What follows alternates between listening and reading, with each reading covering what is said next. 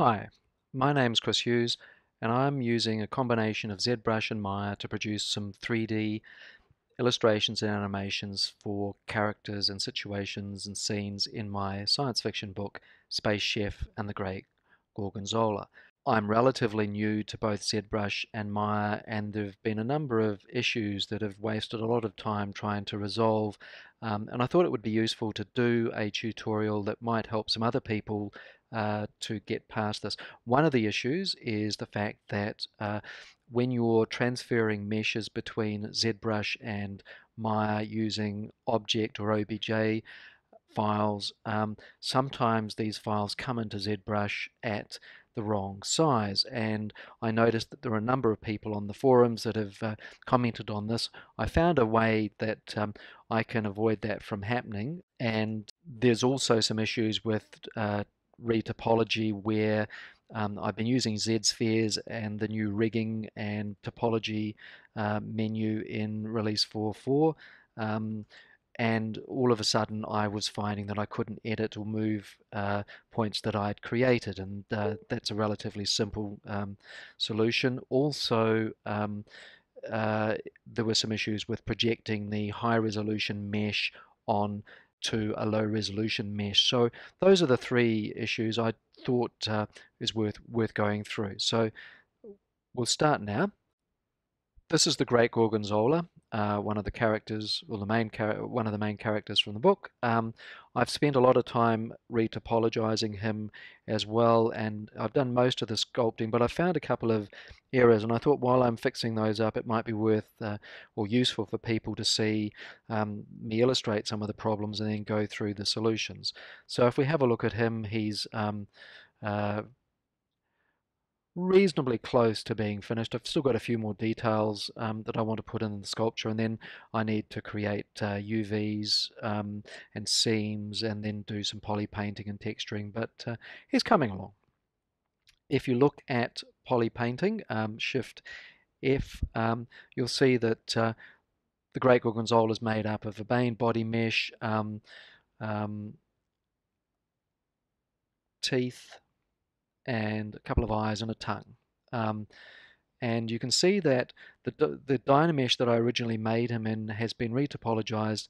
Um, if I take it down to the lowest subdivision level, you can see that um, it, it's reasonably close. Uh, well, I'm reasonably happy with that. There's a couple of things like on the arms, there's some twisting of some polygons, and um, I had done some work in um, uh, Maya where I'd added some edge loops to his right eye, but I haven't done it to the left eye. So um, what I did was export um, using GoZ um, to Maya, um, cut the model in half, duplicated it across um, to get the right number of edge loops on both sides, merged the vertices, um, and then brought it back in. But I found that what was happening um, was that it was only bringing in half the model. Somehow uh, and ZBrush had got confused and didn't recognize that there was a, another half of the model that was the same as before. So I thought, well, the way around that is to export from Maya as a uh, the mesh as an OBJ file, bring that in,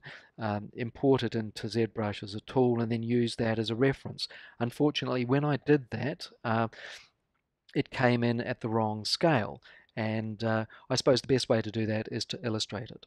What I'm going to do first is just take the, the main model back to its highest um, subdivision level and I'll just frame it in the um, image. Now, there are a couple of problems that I had. The first was that um, if I was going to load the tool, um, so import the um, OBJ file, either of two things would happen. It would either ask me, did I want to re-import the higher resolution imagery, in which case it brought in half the model, or um, it would do this, and the file, the OBJ would come in much too small. And because I had the um, the Great Gorgonzola tool with its subs tool selected, it actually replaced the the file, and I lost the high resolution detail. Um, so the first thing to do is uh, to bring in the mesh as a tool without it having to replace that. The way to do that is follows. I'm just going to reload, reopen the file um, Okay, what I've done is reopen the ZBrush project um, and now what I want to do is import the OBJ mesh but not have it replace any of the other elements. The way I've found to do that is just to select something else um, that's quite um, different. Now, so I've just selected the Polymesh 3D, didn't matter what it was. Now if I import the um, OBJ mesh and bring it in, it comes in and I've still got the uh, high resolution model with all its bits and pieces um, as a separate tool. So low resolution mesh, high resolution mesh. As you can see, there seems to be a difference in size, which is what we saw before. So um, the way to the way I found to get around that is to if I append the file that I brought in into the subtool, ZBrush seems to make the connection that they're similar um, uh, pieces of geometry and it should scale them appropriately. So if I take um, make sure I've got the select the uh, file selected that's the the main tool and then uh, the main Great Gorgonzola with all its subtools and I append and I append the new mesh as you can see it's now brought that in as um,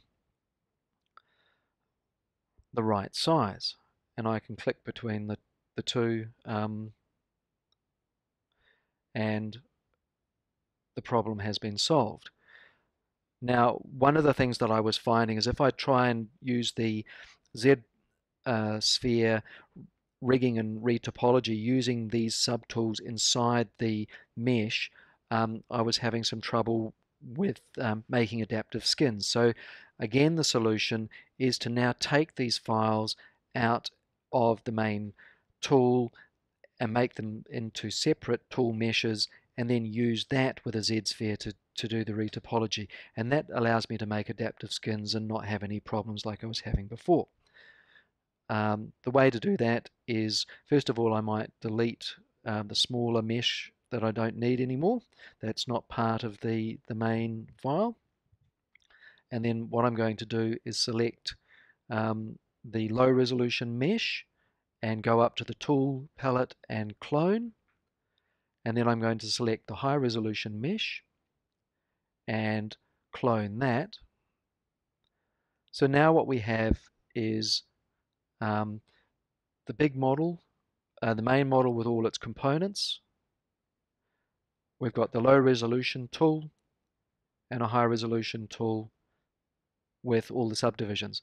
The first thing I'm going to do is delete the lower subdivisions um, from the geometry um, from the high resolution one because we don't need that. Um, uh, and now you can see that it's just one mesh of um, lots of little squares. I'll just turn off polyframe so that you can see it. Um, and we've got the low resolution mesh. In part two, I'll show you how to set up retopology using Z-spheres and then how to project the high resolution detail onto the low resolution mesh. See you then.